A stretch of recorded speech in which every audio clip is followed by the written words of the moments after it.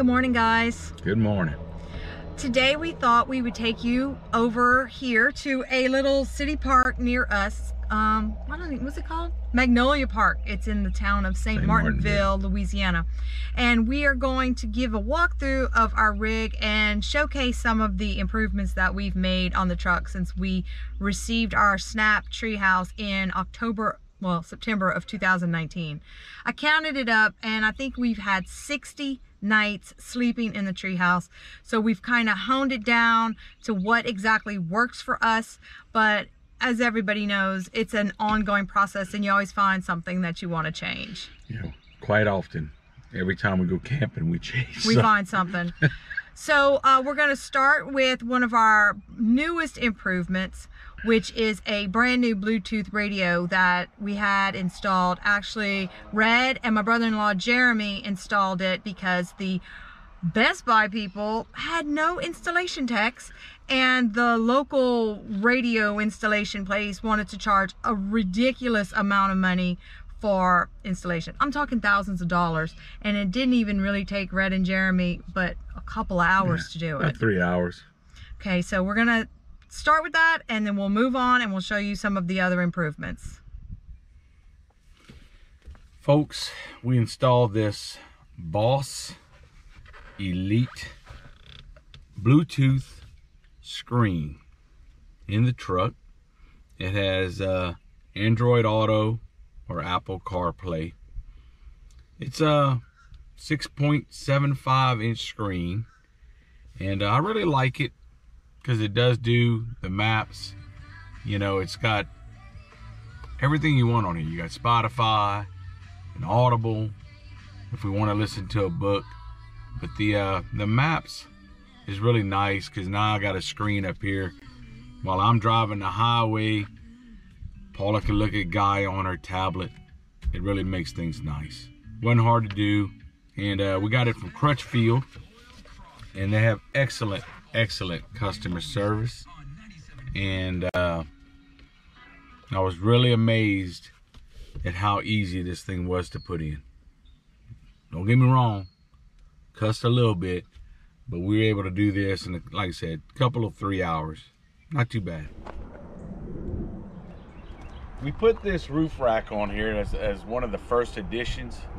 I got this, uh, this set up here at Pack and Paddle for a hundred bucks. I don't even think it was that much. It was it was they they were having a garage sale at Pack and Paddle.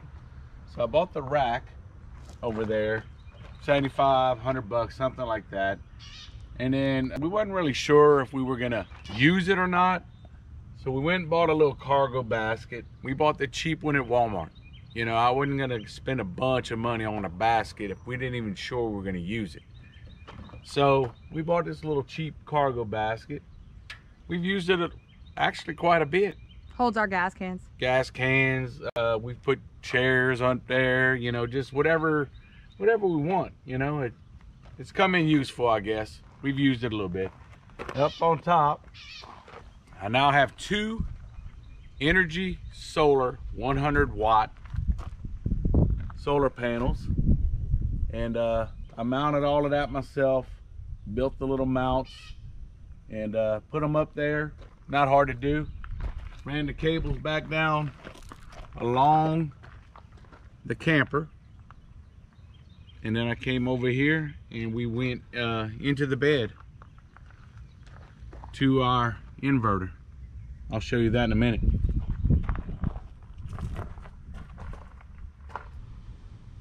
A lot of people don't know that the sleeping platform actually pushes up and it gives you six feet of head space. You can actually stand up, walk around, do whatever you need to do when you're in the bed of the truck when the sleeping platform is pulled up. Okay, we're not going to exercise in the truck. That's ridiculous. we purchased this was not given to us not sponsored. we're n- yeah, not sponsored by Inergy, uh, a little company out of Idaho. I did a little research on all the different battery banks they had at the time, and there's plenty more now. Jackery, you got the Yeti, the Goal Zero, and uh, I seen the Bluetti and some other things like that. I thought this would work for us. They actually have a better unit now that's stackable. But I was able to take this one. Only weighs 25 pounds. This thing is pretty light. Lithium battery in here. It has the inverter all self-contained, which which made it real nice. It's 100 1100 watts of power in this little tiny thing by itself. But I took an AGM battery and built a case. I got an AGM battery in series with this thing. We can charge it while we're driving. I put a uh, ran a cable from the battery, put it to disconnect under the hood, and then I ran the cable back here. And when we're driving, if I want to charge it from the car, all I got to do is flip a switch and it'll charge this baby while we're driving. I haven't, I really haven't had to do that though since we added uh, both solar panels. It's been really nice. Got plenty of power to run our fridge, run our lights, run a fan. We got plenty of power. It does DC and AC power. You got 120 outlets, 220 outlet, which I know we'll never use. You got cigarette uh, lighter chargers, and we have USB chargers. This thing has been uh, pretty good to us now that we finally got everything tweaked how we want to do it. How much did it cost? I want to say it was 11 or $1,200. And then the solar panels are about 150 each? 125 each. And then you got the cables and all that stuff. So I guess we got I guess we got at least uh, fifteen hundred dollars wrapped up in our in our power system. But our patron, John and Samantha Slaughter, gave us the battery. Yeah, he gave us he gave us the battery. He gave me an AGM battery, and uh, he actually gave me the stuff to build the mounts for the solar panels up top. And uh, he actually also gave me this box, which I took and uh, modified a little bit to make sure that I was able to get the battery in there and uh, get all my connections coming out the side.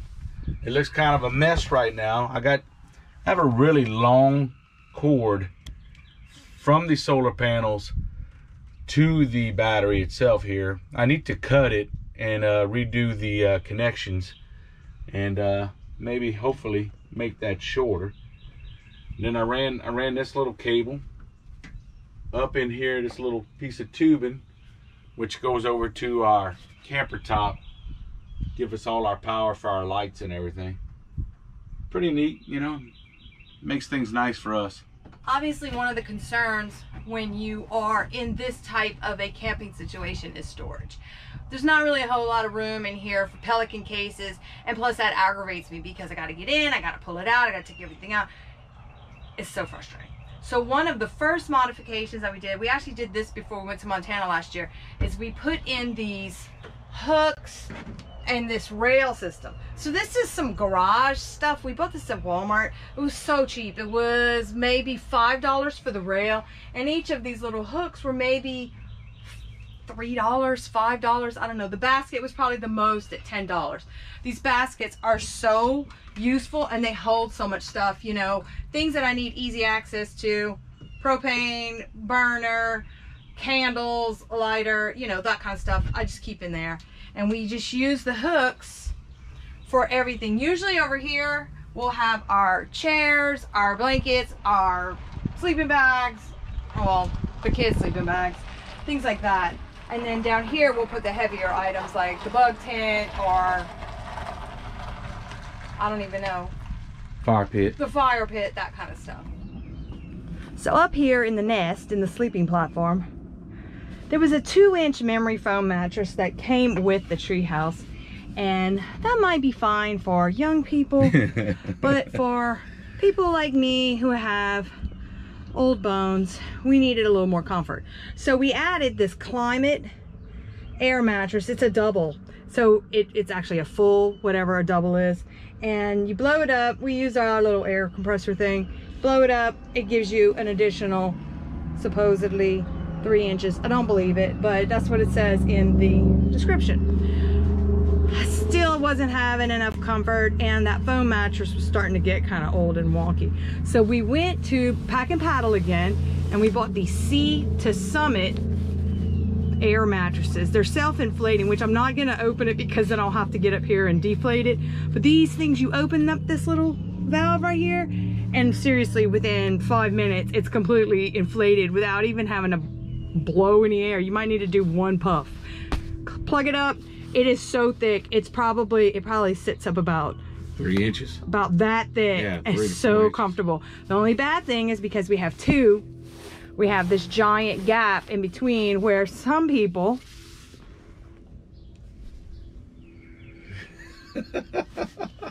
roll into the middle, causing the other person to roll into the tent. So we're gonna cut that mattress that came with the treehouse and fit a sliver in between these two mattresses to keep us able to stay in our own spots and not hog up all the room and the blankets and the pillows. Well, there's too many pillows. Hmm. Also, having these, we can actually leave our bedding and our pillows in here and not cause problems. We're having a little bit of problem from having too much bedding. There's some wearing and some I don't even know what you would call it. It's not tearing, but it's it's getting worn. So we want to try to prevent that and keep the tent intact as possible for as long as possible. And obviously every overlander needs a 12 volt fridge. Needs, put that in quotes. And we bought one and we also bought this Dometic slide to go with it. What's the weight limit on that thing? Like 300 pounds? 300 pounds. Sometimes that Dometic probably weighs 300 pounds. See, I installed this, screwed it down to the to the deck. It's gonna be easy to take out if I want. You only got like four screws you're gonna undo. And uh, I didn't screw it directly into the bed of the truck because when I started getting everything ready, underneath this rubber mat, I cut out a piece of plywood. And underneath that, I actually have more foam insulation. Some of y'all might remember we changed our door style back in February. We changed it from barn door style to this just hatch flip up. And it's so nice. It's so much easier to manage. Red's put some handles on the inside so we can close it when we're both up in there. But overall, it was a great decision to change these doors. And I suggest if you are thinking about buying a snap tree house, think long and hard about how you are going to manage inclement weather because the barn doors when they're open they're open and they're pretty hard to get closed from the inside and really open from the inside as well Well, yeah, it was, and it's hard, especially the way we had it. If you do the barn doors from top to oh, bottom, Oh, yeah, yeah, and yeah. you take the tailgate out, I could see where that would be pretty easy. We had the barn doors with our tailgate in, which made things more difficult because when you open them and you're trying to get in, there was nothing to keep them open. They would just bang on you. Yeah, I mean, Paula has video somewhere showing that. So yeah, it was very difficult. Not horrendous, but it it it, it made things not uh, comfortable to deal with. right This thing has been a great improvement. About the only thing I have negative to say, and it's not really a negative thing. When they sent this to me, I installed it myself. Uh, these little air struts could be a little stronger. Uh, the door wants to sag a little bit, and it's not as bad now. I, I put a new piece of weather stripping here, and ever since I've done that, it's I don't know what it's done. It's kind of helped. For some reason, I guess the uh, weather stripping keeps the door up a little better for some reason. But they're a little weak. I was thinking about changing these out, but for now, it's great. We love it. and some of you guys may remember that we had our windows right here used to flip down but we also changed this to them to flip up instead it's not a health hazard of hitting your head on them anymore our truck got lifted. We lifted it in December and when we put the additional lift in, it made the flip down door as a table completely obsolete because it was just too high. It was over your head. Yeah, if you were sitting in a chair, you were reaching up and uh, when you had it down, especially at night, you tended to walk around the truck and it would hit you right in the chin or right in the throat. So we decided to change it around. Uh, Snap did not assist us in this. I did this myself. Ordered a couple air struts off of Amazon. And uh, the only thing that was really good, Snap had already had the holes pre-drilled. So all I had to do was rivet in those holes and everything fit perfect. It was a joyful moment. As you'll see in the video that I'm gonna cut in, we both celebrated uh, excessively. Rivet guns are not easy to manage especially when you're weak like I am and you have no upper body strength. We also added a small awning. We uh, saw an ad on Facebook Marketplace, I think it was. Lady was selling an awning for $50. It's not a great awning. We wasn't really sure if we were gonna use it. So we thought we'd buy it. And uh, I got these brackets that I manu well actually we have them manufactured for work. And uh, my boss John uh, let me have a few of them and I put them to use. I got some flat bar that we got bent and uh, I was able to get them bent so it would come out away from the camper. And I mounted two on this side and we put two on the other side. So that way if you want to move the awning to the other side it's real easy. We just loosen a couple of bolts, pick the awning up, bring it to the other side. And future plans for this awning is we're going to put the same, what you call that? Brackets. Brackets on the back so that we can stretch our awning out over our tailgate and not have to worry about bringing the bug tent with us in case of inclement weather. Yeah, and we plan on getting a bigger awning for the sides. It's just not quite big enough for the for us really, but it'd be good for over the back. Leave us a comment if you have any questions about our modifications. Thanks to our patrons. We appreciate you. See you next time when we pop a top on adventure.